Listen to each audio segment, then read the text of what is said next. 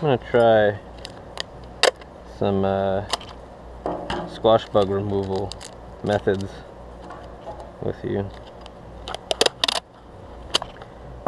Um, I haven't tried duct tape yet. All my duct tape's kind of gross, so I didn't want to get it on my fingers like this, but um, I don't, I'm not sure duct tape would stick much more than some decent quality packing tape.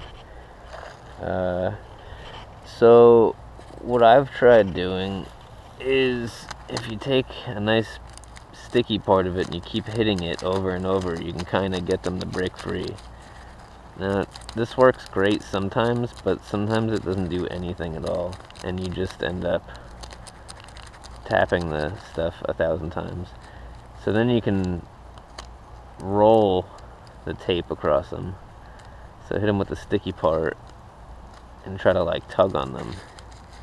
But the problem with this is as you do that, then you're getting a ton of like plant stuff all over the tape and it's not going to be as sticky.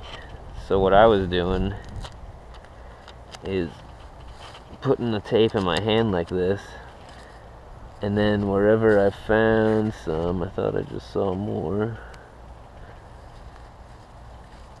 I'll hold it underneath here and just kind of roll them off.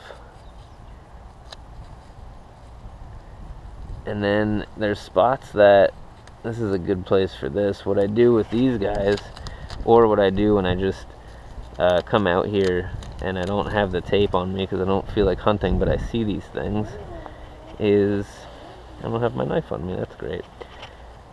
So you can do it with your fingernail too. It gets kind of gross. Um, all you need to do, usually what I do is I take, I hold underneath and I take the knife and I squish them. You can do the same thing with your fingernail. You can hear them popping. And once you pop them, then they're done. Um, sometimes when I'm lazy, you know, these are popped, so it doesn't matter, but sometimes when I'm lazy, I'll just wipe them off onto the ground, but I feel like there's a good chance that they can hop onto something and start sucking on it so they can get bigger. Um, I mean, the bugs are laying them on the leaf for a reason. They want them to pop back here and have something, some kind of shelter from the sun and maybe other predators, and then have the leaf to suck so they can grow up. So if they're on the ground, they might not be able to make it, but I figure I'd rather not find out that I'm just moving the infestation down to the ground. But sometimes you can't get them and oh well. Um, okay.